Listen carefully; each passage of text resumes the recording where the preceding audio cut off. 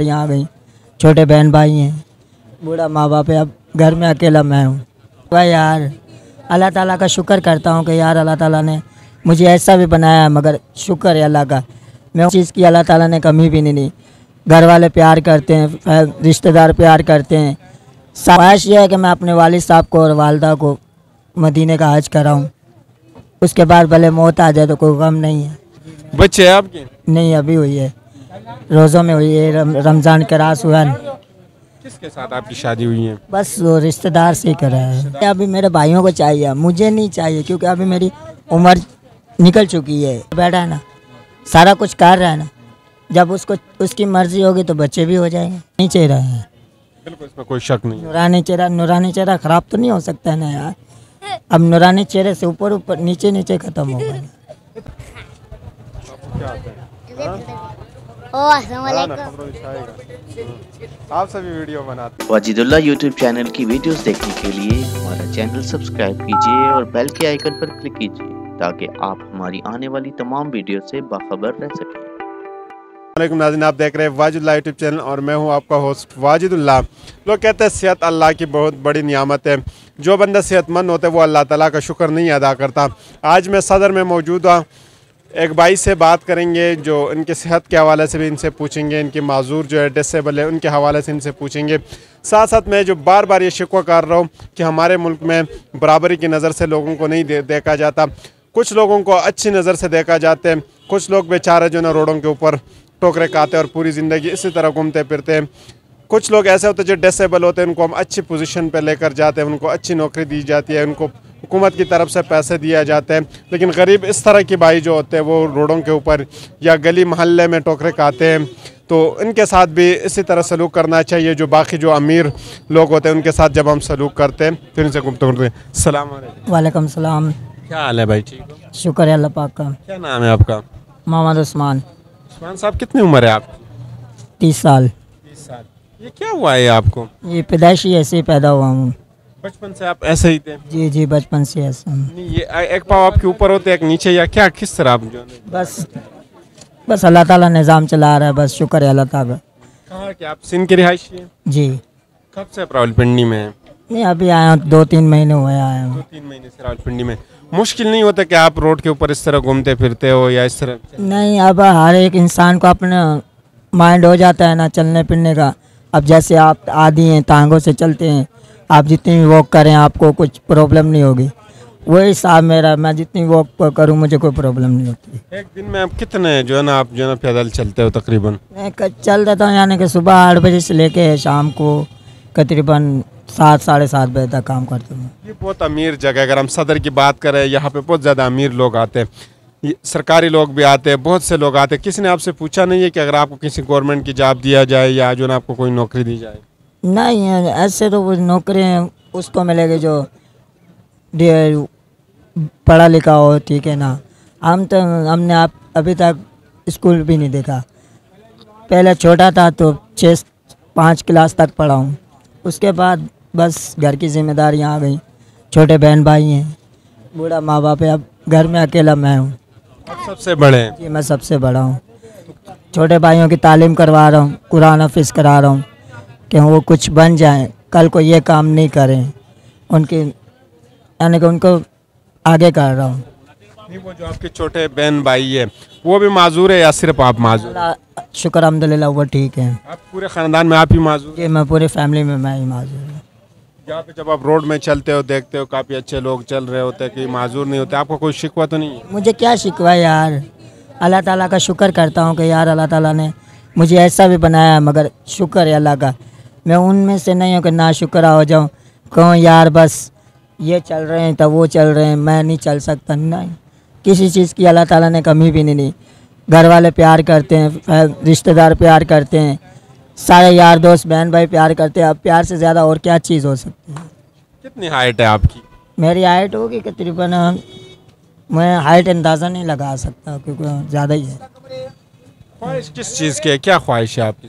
خواہش یہ ہے کہ میں اپنے والد صاحب کو اور والدہ کو مدینہ کا حج کراؤں۔ اس کے بعد بھلے موت آ جائے تو کوئی غم نہیں ہے۔ شادی کا ارادہ تو نہیں ہے کہ شادی کیا آج شادی ہوئی بھی ہے۔ جی ہوئی ہوئی ہے آپ کیا نہیں ارادہ؟ جی ہوئی بھی ہے۔ ہوئی ہوئی ہے۔ بچے ہیں آپ کے؟ نہیں ابھی ہوئی ہے۔ روزوں میں ہوئی ہے۔ رمضان کے راس ہوا۔ کس کے ساتھ آپ کی شادی ہوئی ہے؟ بس وہ رشتہ دار سے ہی کرا ہے۔ جی۔ وہ معذور ہے یا وہ ٹھیک ٹھاک وہ ٹھیک ٹھاک ہے۔ جی۔ کیا ویسے اگر آپ کا دل کرے اگر کچھ آپ بننا چاہے تو کیا بننا چاہتے ہو کہ نہیں؟ بس آپ جو نا دل جو بھاری ہیں۔